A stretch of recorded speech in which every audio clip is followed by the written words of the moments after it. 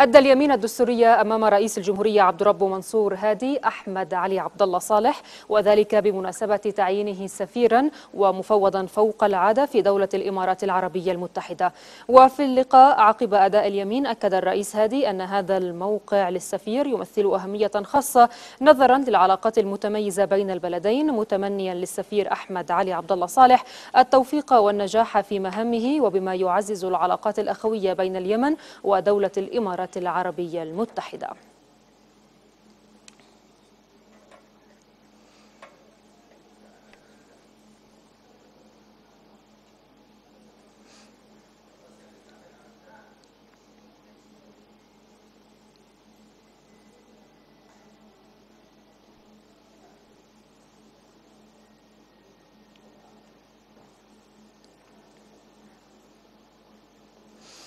أكد رئيس الجمهورية عبد الرب منصور